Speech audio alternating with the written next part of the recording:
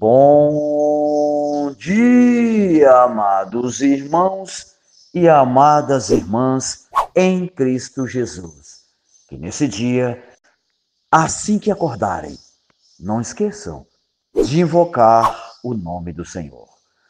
Ó oh, Senhor Jesus, ó oh, Senhor Jesus, quanto mais invocarmos, mais estamos sendo transferidos aqui da terra para as regiões celestiais. Portanto, amados e amadas irmãs em Cristo Jesus, invoque, dependa desse nome.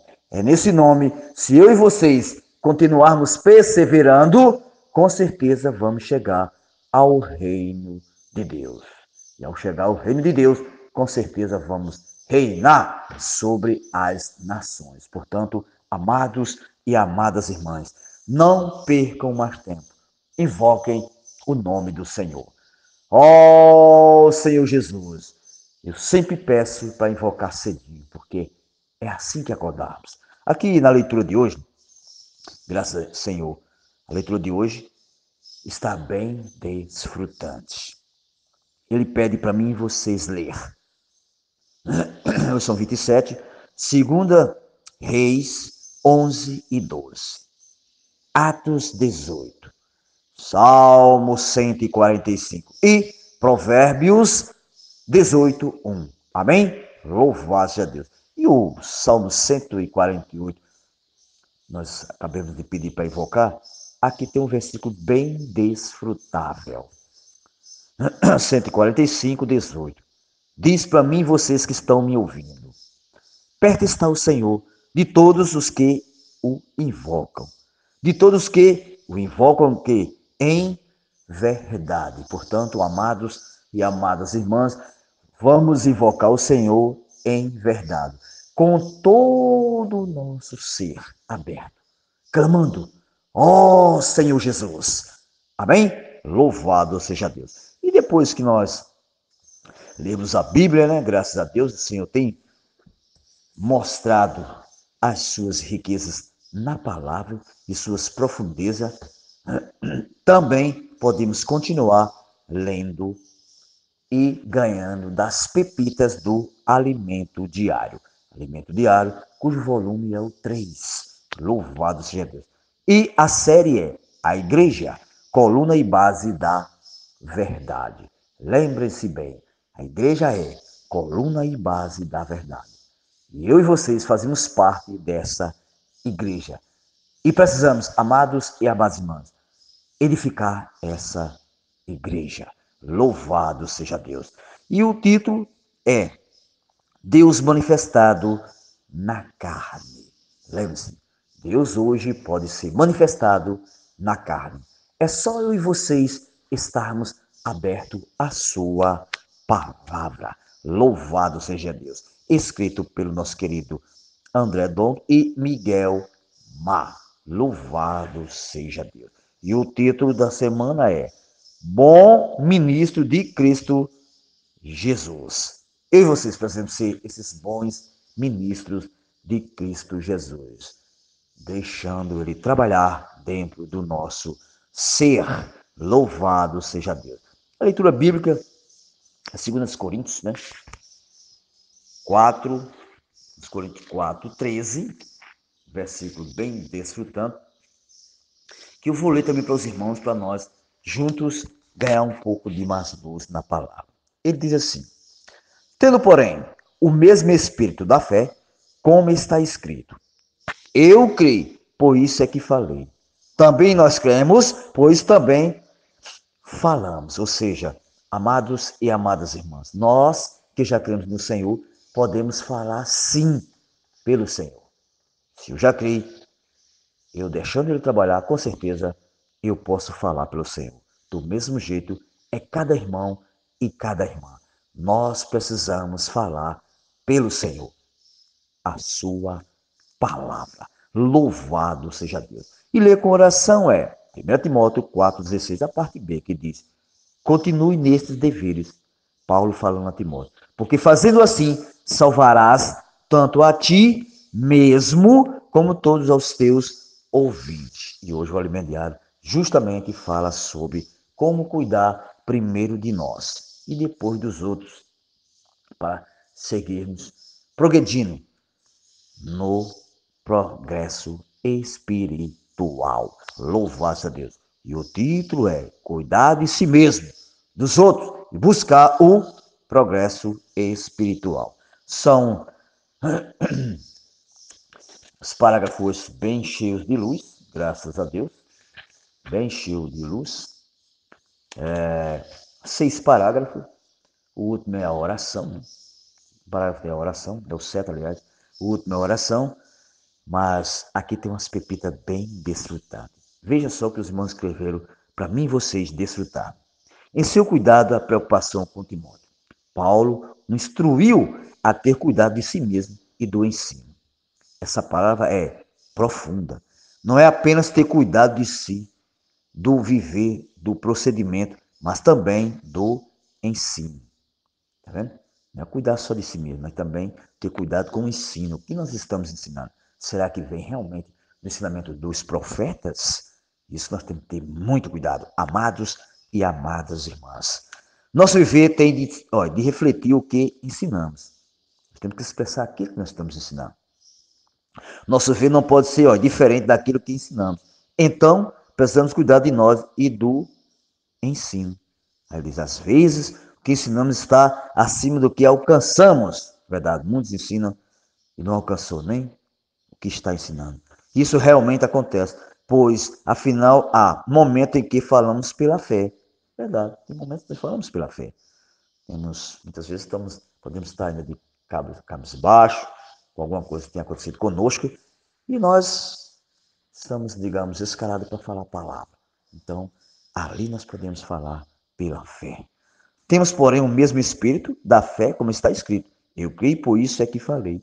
Também nós cremos, por isso também falamos, que foi o versículo que eu li há pouco tempo, 2 Coríntios 4,13. O ideal, porém, é que no dia a dia também aperfeiçoemos nossa pessoa e nossa conduta. Por isso, Paulo fala de cuidar de si. É dia a dia. Nós precisamos ser aperfeiçoados e cuidar de nós mesmos, para depois cuidar dos outros. Louvado seja Deus. Ó oh, Senhor Jesus, Aí no, no, no parágrafo 2 ele diz assim. Ele diz assim, uma frase que eu tirei assim, que ele diz assim. Quantas coisas negativas há em mim, se referindo a nós, e quantas coisas o Senhor precisa tirar de mim. Assina embaixo também. Quantas coisas negativas ainda tem dentro de mim? E quantas ainda o Senhor tem que tirar? Agora, amados e amadas irmãs, essas coisas negativas, o Senhor só tira se eu deixar. O Senhor não tira a força. Você só tira se eu deixar.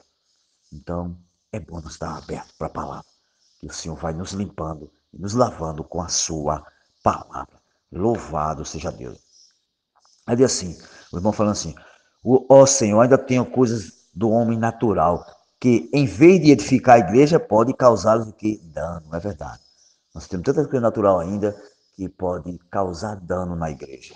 Ó Senhor Jesus, tenha misericórdia de cada um de nós.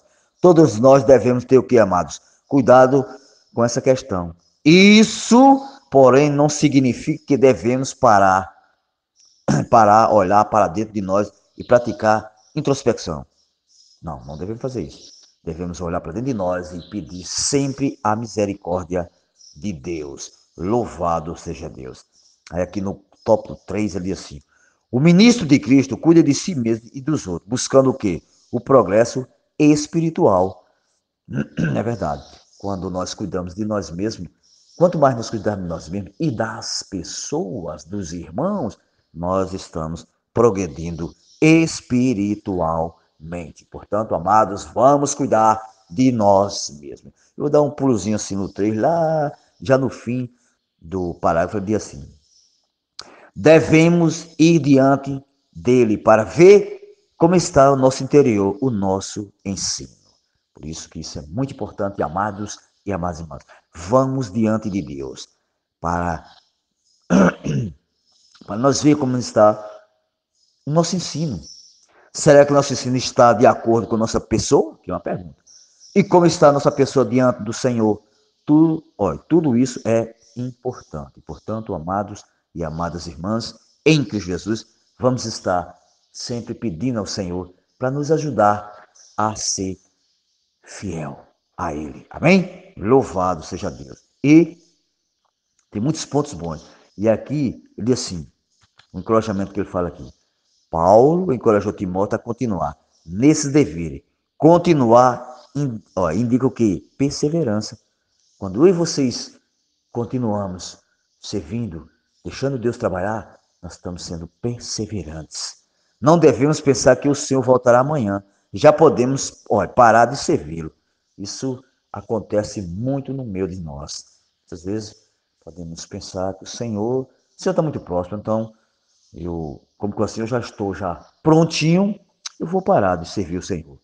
Amados, não é assim. Nós temos que cada dia mais estar servindo ao nosso Senhor. Ele diz, antes temos de viver a vida da igreja intensamente. Quando ele voltar, que sejamos vencedores. Sejamos, tá vendo?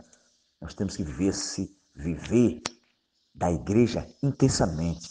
É momento a momento. Eu não digo dia após dia, momento a momento. Nós vivemos o viver da igreja. Louvado seja Deus. Para quando Deus voltar, nós estamos aqui, prontinho, sendo esses vencedores. Para isso devemos continuar, porque, porque isso diz respeito ao nosso estado para ser o que? Vencedores. Quando Deus vier, nós, temos, nós não alcançamos nosso estágio de maturidade, mas no estado que eu estou, que vocês estão, Deus vai nos levar. Lembrem-se bem disso. Louvado seja Deus. Aí assim, se a partir de hoje buscarmos esse estado, ter o desejo de sempre melhorar, ser diligente, ter o progresso manifestado entre os irmãos, cuidar de nós mesmos e do ensino, ou seja, se continuarmos nesses deveres, quando o Senhor voltar, ele nos encontrará fazendo o quê? Assim, essa é a importância de falar a palavra do Senhor. Uma palavra que leva vida, fé, amor, encorajamento para os ouvintes. Portanto, amados e amadas irmãs, em Cristo Jesus, aqui é uma advertência para mim e vocês, nós levarmos essa palavra de Deus como encorajamento, além dos irmãos, os ouvintes. Louvado seja Deus. Aí ele encoraja aqui nesse, no 5, ele diz assim, no parágrafo 5, ele diz assim, o Senhor está, está para voltar. E nos tempos atuais, os irmãos que estão à nossa frente estão desesperados para nos preparar para a sua vinda, é verdade. Se dependesse do coração deles, dos irmãos, né? Gostaria de nos ver todos como vencedores.